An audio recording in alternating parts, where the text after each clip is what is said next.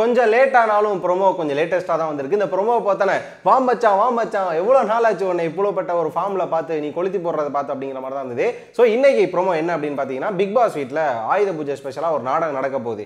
அந்த ஸ்டேஜில் ஒரு அறிவிப்பு கொடுக்கணும். அந்த அறிவிப்பு என்ன அப்படின்னு பார்த்தீங்கன்னா இந்த கடந்த பத்து நாட்களாக பிக் பாஸ் வீட்டில் யார் யாரெல்லாம் சிறப்பாக பங்களிப்பை கொடுத்தாங்க யாரெல்லாம் தன்னோட ஒஸ்ட் பர்ஃபார்மன்ஸை கொடுத்தாங்க அப்படின்றத ஒரு டீம் வந்து ஃபிக்ஸ் பண்ணி அந்த டீமில் வந்து அனலைஸ் பண்ணணும். இந்த வீட்டில் வந்து இவங்கெல்லாம் பெஸ்ட் பர்ஃபார்மர் இவங்கெல்லாம் ஒஸ்ட் பர்ஃபார்மர் அப்படிங்கிற மாதிரி அனலைஸ் பண்ணி அதை ஸ்டேஜில் சொல்லணும் அப்படிங்கிற மாதிரி ஒரு விஷயத்தை வந்து பிக் பாஸ் கொடுக்குறாரு.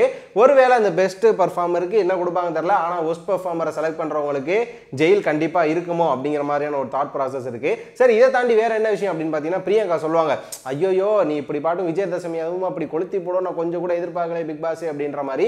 ஸோ அதை தாண்டி பார்த்தீங்கன்னா வந்து இன்ஃப்ளூயன்ஸ் பண்ணணும் தெரியுமா? இந்த வீட்டில் யார் தெரியுமா பெஸ்ட் பர்ஃபார்மர் யார் தெரியுமா ஒஸ்ட் பர்ஃபார்மர் இவன் வந்து அதை பண்ணா இவன் வந்து இதை பண்ணா அந்த பொண்ணு அதை பண்ணல அப்படிங்கிற மாதிரி பேச ஆரம்பிக்கணும். ஸோ அபிஷேக் வந்து அதுக்கு முதல் ஸ்டெப் எடுத்துட்டாருன்னு நினைக்கிறேன். என்ன அப்படின்னு பார்த்தீங்கன்னா பாவனி ரெட்டி அதுக்கப்புறம் பார்த்தீங்கன்னா அக்ஷரா இவங்க ரெண்டு பேரை உட்கார வச்சு அபிஷேக் வந்து லைட்டாக பிரெயின் வாஷ் மூளைச்சலவை போட்டுக்கிட்டு இருப்பாரு. ஆக்சுவலாக பார்த்தீங்கன்னா இமான் அண்ணாச்சி பேசுகிற காமெடியெல்லாம் எனக்கு செட்டே ஆகலை. அதில் எந்த வித காமெடி ஒரு வித ஹியூமரே இல்லை அப்படின்னு. அதை மட்டும் இல்லாமல் அவரோட காமெடி செட் ஆக மாட்டேங்குது. அவர் வந்து எல்லாரையும் ஒரு விதத்தில் வந்து இந்த ட்ரிகர் பண்ணுறாரோ இல்லைனா வந்து ஆட்டத்தை மாற்றுறாரோ குறை சொல்கிறாரோ இது பழி வாங்குறாரோ இப்படின்னு சொல்லி அபிஷேக் வந்து அவரோட மனசில் இருக்க ஒரு இல்லியூஷனா இல்லை அவர் மனசில் இருக்க ஒரு கேம் ஆஃப் பாயிண்டான்னு தெரில அதை வந்து ஆப்போசிட்டில் இருக்கவங்க கன்வே பண்ணி வந்து இன்ஃப்ளூயன்ஸ் பண்ணிட்டு இருக்காரு.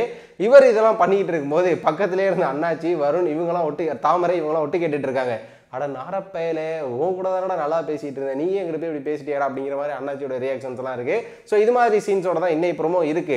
ஒருவேளை யாரெல்லாம் பெஸ்ட் பர்ஃபார்மர்ஸ் அப்படின்னு செலக்ட் ஆகுறாங்க யாரெல்லாம் ஒஸ்ட் பர்ஃபார்மர் செலக்ட் ஆகுறாங்க இதனால யார் யாருக்கெல்லாம் சண்டை வருது அப்படிங்கிற அடுத்த ப்ரோமோ வரை வரையும் பார்ப்போம். ஸோ அதுவரை இணைந்திருங்கள் சினி சமூகத்தோடு.